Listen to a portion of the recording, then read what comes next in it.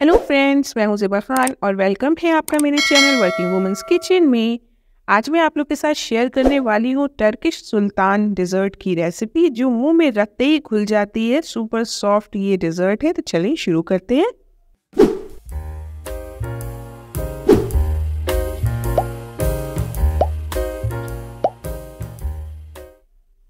इसको बनाने के लिए मैंने एक ट्रे ले ली है तो आप कोई भी किसी भी शेप की ट्रे ले सकते हैं। अगर स्क्वायर या रेक्टेंगल में लेंगे तो वो ज़्यादा अच्छा रहेगा। इसको पहले बटर से ग्रीस कर देना है।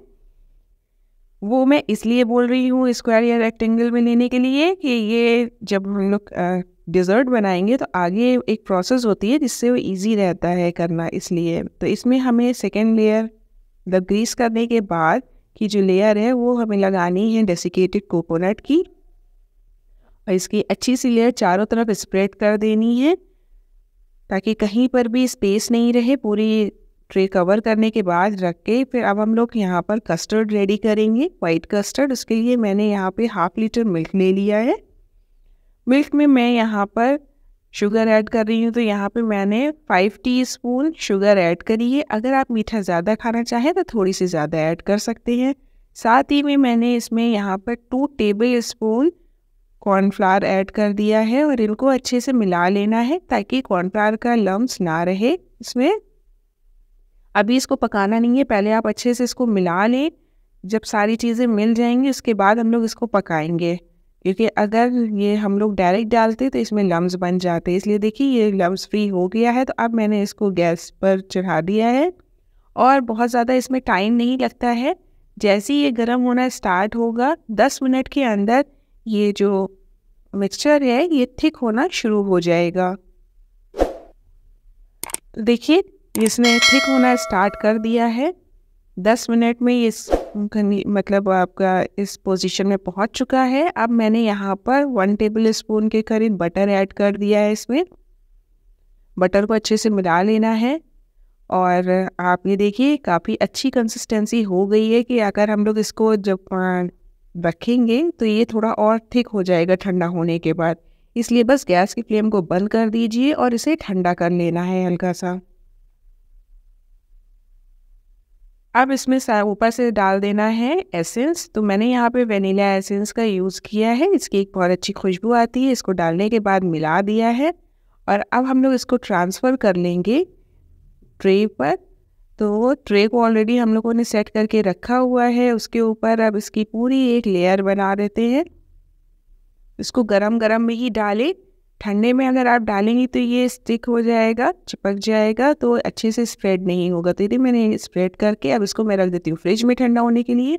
दूसरी तरफ़ मैं तैयार कर लेती हूँ इसके ऊपर की एक और लेयर तो इसके लिए मैंने एक बड़ा कप विप क्रीम डाली है। इसको हमें अच्छे से बीट करना है। पहले हम लोग इसको पाँच मिनट के लिए बीट कर लेते हैं। तो ये देखिए, ये आपको हल्का सा फोमी सा दिखने लगा होगा। पाँच मिनट बीट करने के बाद मैं इसमें हल्का सा कलर ऐड कर दूँगी। वो भी ऑप्शनल रहेगा। आप चाहें तो ऐड कर सकते हैं, वरना तो इसके पैक कर सकते हैं। तो मैं यहाँ पर हल्का सा फ़ूड कलर ऐड कर रही हूँ, पिंक कलर। दो ड्रॉप मैं डाल दे रही हूँ इसकी, अब इसके बाद इनको मिला देंगे। ये इसमें आ जाएगा पिंक कलर, ये देखने में भी बहुत प्यारा लगता है। अब फटाफट से इसको हम लोग बीट कर लेते हैं। तो मैं इसको स्टिफ पीक आने तक के बीट तो ये देखिए पीक्स आ गई हैं। अब मैं अगर इसको टर्न भी करूँगी ना तो क्रीम गिरेगी नहीं, मैं आपको टर्न करके दिखाती हूँ। तो आपको इस पोजीशन तक के क्रीम को बीट करना है। अब मैं ट्रे निकाल लाई हूँ फिर से और ये अच्छे से ठंडी हो गई है। इसके ऊपर अब हम लोग इस क्रीम की लेयर को लगा देंगे। इसको लगाने से इस डिज़र्ट में एक बहुत ही अच्छा टेक्सचर आता है। तो फटाफट से आप ये पूरी क्रीम को पूरे में स्प्रेड कर दें और इसका जो लेवल है वो आपको बराबर कर देना है हर तरफ़। ताकि जब हम लोग इसको रोल करेंगे तो ये आसानी से रोल हो। देखिए, मैं चारों कॉर्नर तक के इसको अच्छे से स्प्रेड कर दे रही हूँ। अब इसके ऊपर की जो लेयर है, उसको मैंने बराबर कर दिया है। और आप चाहें तो इसको 10 मिनट के लिए सेट होने के लिए फ्रिज में रख सकते हैं, वरना तो उसके बाद आप सर्व कर सकते हैं। या आप चाहें तो आप डायरेक्ट भी इसको कट करके सर्व कर सकते हैं। तो मैं इसको कट कर रही हूँ। इस तरह से आपको कट कर लेना है या ऐसे कट करने की वजह से और फोल्डिंग में प्रॉब्लम नहीं हो, इसकी वजह से ही मैंने आपसे बोला था कि अगर आप स्क्वायर या रेक्टेंगल शेप की ट्रे लेते हैं तो आपको इजी रहेगा। तो मैं जो सेंटर वाला इसका पीस है, उसको पहले रोल कर ले रही हूँ ताकि साइड के पीसेस आसानी से निकल सके। तो इस तरह से नीचे से स्क्रब करके जितने भी ये जो कोकोनट डेसिकेटेड कोकोनट है, उसको निकाल के इस तरह से रोल कर लेना है पीसेस को। और बहुत ही केयरफुली करना है क्योंकि ये बहुत सॉफ्ट होती है।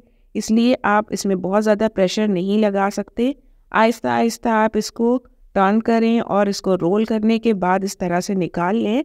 अब देखिए ये साइड वाला जो पीस है, वो ईज़िली रोल हो जाएगा।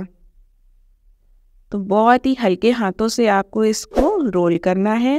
और ये देखिए, ये जो डिज़र्ट है टर्किश सुल्तान ये रेडी हो गया है। अब ऊपर से आप इसको गार्निश कर सकते हैं चॉप किए हुए पिस्ताशियों से या आप और किसी चीज़ से मतलब और कोई ड्राई फ्रूट से इसको गार्निश करना चाहते हैं तो कर सकते हैं। तो ये टेस्टी से टर्किश सुल्तान डिज़र्ट रेडी हो गया है। अगर आपको ये मेरी वीडियो पसंद आई हो तो वीडियो को लाइक करना बिल्कुल नहीं भूलिएगा। ये देखिए सुपर सॉफ्ट मुँह में घुलने वाला डिज़र्ट रेडी हो गया है। Thank you for watching this video